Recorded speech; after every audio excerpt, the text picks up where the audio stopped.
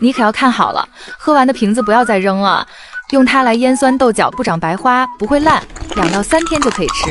嫩嫩的豆角切成丁，腌得快，吃的也方便。加入蒜末、小米辣、姜末，一大勺白糖，一大勺盐，一小碗花椒。要想泡菜腌得又脆又快，倒入一包这个泡菜发酵菌粉。这样做的泡菜不生花不变质，装入干净的瓶子中，室温存放两到三天就可以吃了。炒肉末、拌面、拌米饭都特别的开胃下饭。